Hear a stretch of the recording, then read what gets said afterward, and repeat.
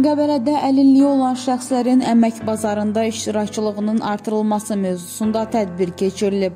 30 nəfər əlilliyi olan şəxsin, o cümlədən müəyyən ictimai birliklərin, rəsmi dövlət strukturlarının və media nümayəndələrinin iştirak etdiyi tədbir Qəbələ rayon Qəbələ Uşaq və Ailələrə Dəstək Mərkəzində reallaşdırılıb.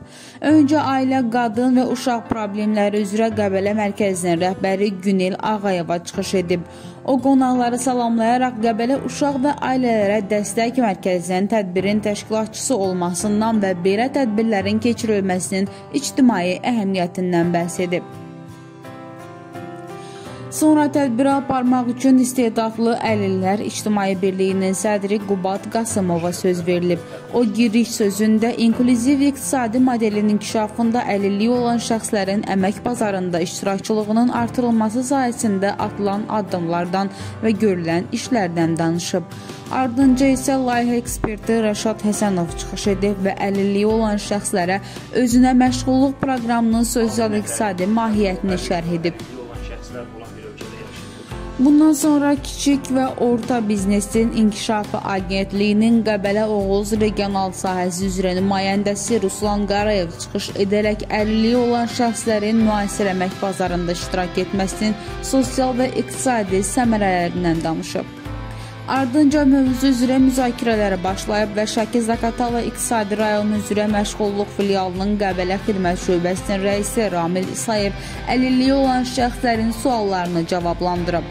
Əlilliyi olan şəxslərdən Ziya Baxışov, Uğurlu Bayramov, Mütəllim Əmmədov və o cümlədən Qazi atası İlbəyi Əliyev və digərləri çıxış edərək cəmiyyətdə üzləşdikləri çətinliklərdən və problemlərdən danışıblar.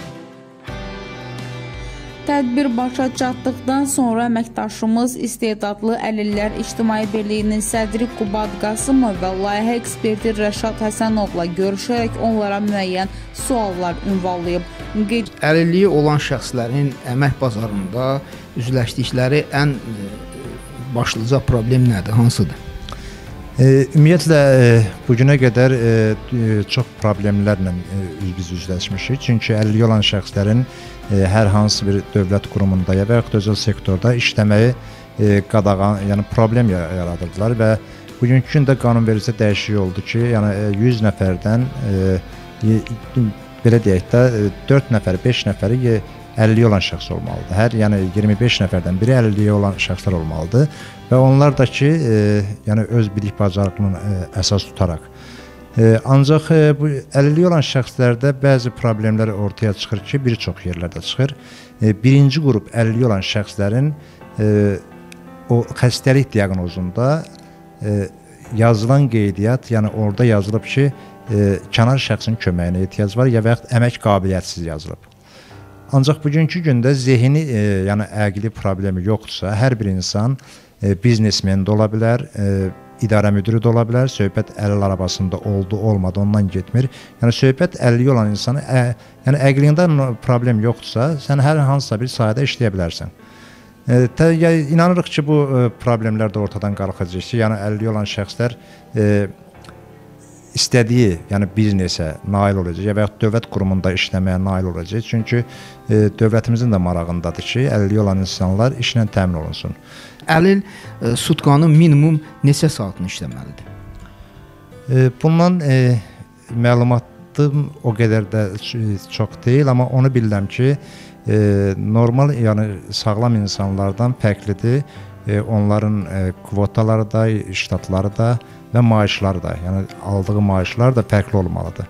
Və iş saatı eyni zamanda deyək ki, normal insanlarda 8 yəni normal insan dedikdə, yəni sağlam insanlarda 8 saat iş rejimi varsa, 50 olan insanlarda onlardasa bir 50-60% olmalıdır ki, e, nisbətində.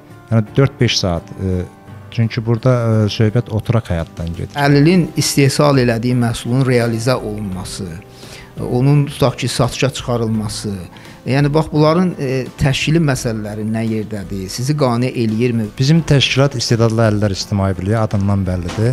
2013-cü ildə qeydiyyatdan keçmişik və e, ilk başladığımız işimiz əlilliyi olan insanların məsul e, e, əldə elədiyi, yəni öz zəhmətləri ilə ərziyə gətirdiyi işlərin satışını təşkil etmək olub.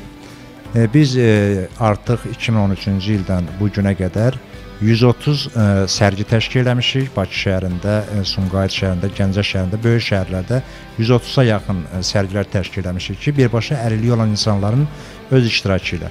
Onun da satışın birbaşa öz özləri satır və özləri məsələn deyək ki, onların o qədər əl işləri var ki, qalaq-qalaq evlərində yığılıb qalmışdır.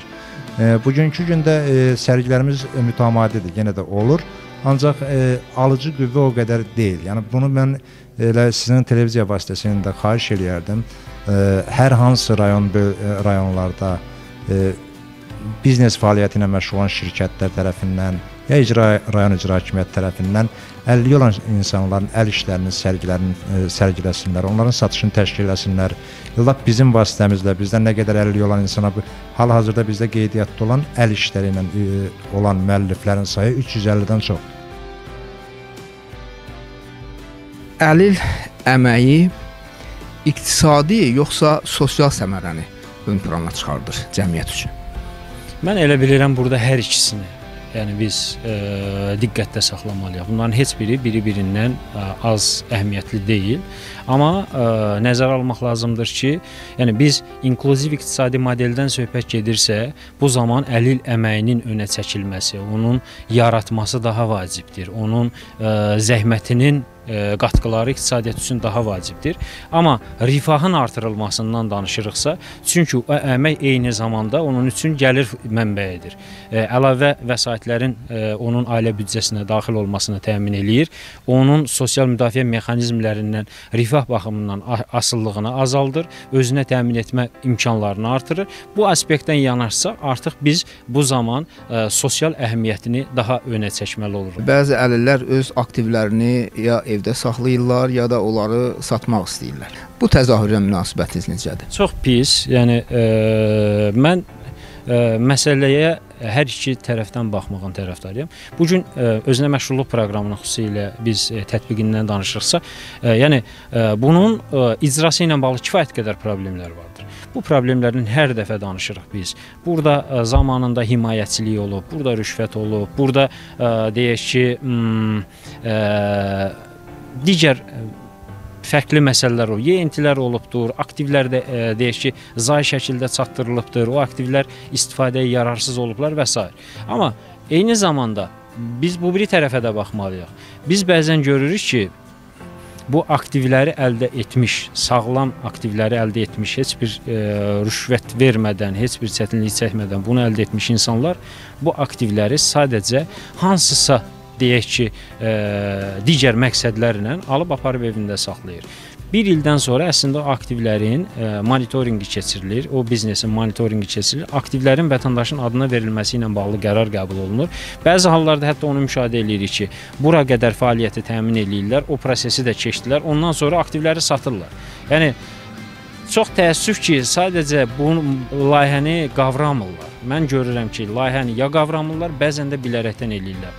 Yəni onlar onu sadəcə hansısa məbləğdə vəsaitə çevirəcəklər, nağd pul əldə edəcəklər yanaşması ilə prosesə başlayırlar. Amma bilmirlər ki, bunun əvəzində həm öz gələcəklərindən məhrum olurlar, həm də özünə məşğulluq proqramından istifadə et, etdinsə, bu zaman ünvanlı sosial yardım proqramından ömürlük imtina etmiş olursan. Qeyd edək ki, tədbir həm mütəşəkkillik, həm də aktuallıq baxımından yadda qalan olub. Aydan Əmid qızı, Mehdi Abbasov, Sərraf Əfəndiyev, Qəbələ TV.